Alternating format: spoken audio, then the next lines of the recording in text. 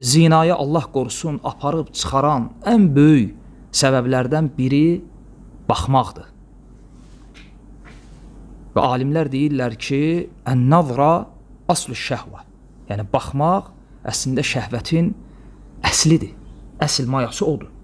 Birinci insan baxır, gözünü yığışdırmır haramdan və sonra o baxış fikir əmələ gətirir.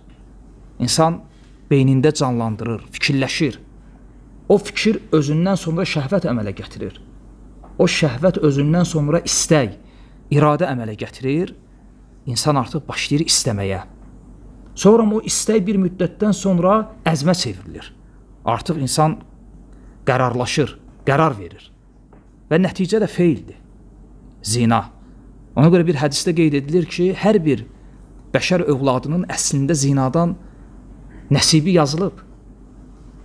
Sadəcə olaraq kimin övrəti bunu təsdiqləyir, kiminki isə inkar edir.